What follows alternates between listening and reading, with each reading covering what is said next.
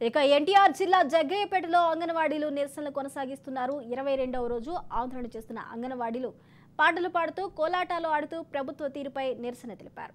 ప్రభుత్వం ఎప్పటికైనా స్పందించి తమ న్యాయపరమైన సమస్యలు పరిష్కరించాలి అంటూ డిమాండ్ చేశారు. నేను ఉన్నాను నేను ఉన్నాను నేను విన్నాను నేను విన్నాను నేను ఉన్నాను. నేను విన్నాను జీతం పెంచు జగనన్న మా జీతం పెంచు జగనన్న మా జీతం పెంచు. జగనన్న మా జీతం పెంచు జగనన్న మా జీతం పెంచు. పరుగు పరుగు పాలన గౌరవేతనం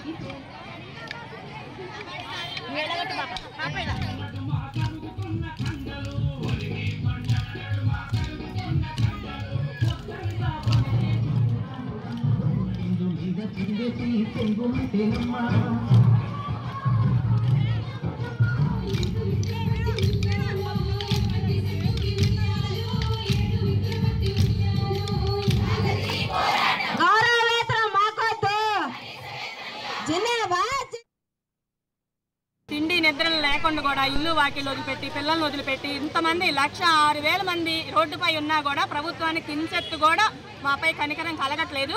అందులో భాగంగా ఈరోజు ఆటపాట ద్వారా మా నిరసన తెలియజేయడం జరుగుతుంది చిల్లకల్లు ప్రాజెక్టు ఆధ్వర్యంలో.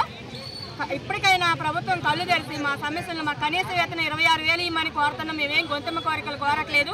మాకు చాలీ చాలని జీతాలతో ఎంతో ఇబ్బంది పడుతున్నాం. కాబట్టి ఈ రోజు ఎంతమంది మహిళలు రోడ్డుపై ఉండాల్సి వచ్చింది.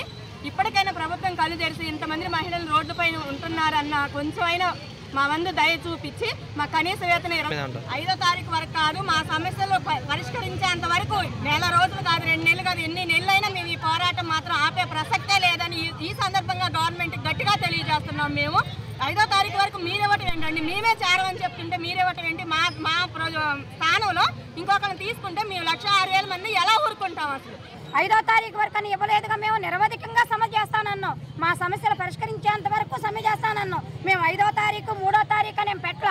ఐదో తారీఖు అని ప్రభుత్వం వాళ్ళే పెట్టి మమ్మల్ని బెదిరింపులతో మహిళలని కూడా చూడకోకుండా బెదిరింపులతో కొత్త వాళ్ళని జాయిన్ చేసుకుంటామని అంటున్నారు. అది ఎలా సాధ్యమని మేము అడుగుతున్నాం. మేమందరం కావాలని అంతా ఇక్కడ మేమందరం చేసి మేమందరం మెమోరాండాలు ఇచ్చి ఆడవాడమని చూడకుండా మహిళలమని చూడకోకుండా రోడ్డెక్కి ఈ నిరసన కార్యక్రమాలు ఎన్నో చేపడుతుంటే